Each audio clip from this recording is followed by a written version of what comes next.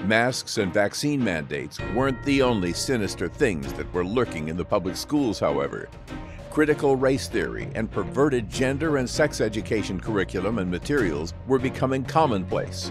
Certain schools were even providing children with what amounted to child pornography in their attempts to indoctrinate children into a progressive and sexually perverse future. Students were being called racist oppressors for no other reason than the color of their skin. As we saw all across the country in 2021, CRT became a rallying point for parents, and Pennsylvania was the tip of that spear, along with places like Virginia, regarding parents taking back control of their communities and children's education.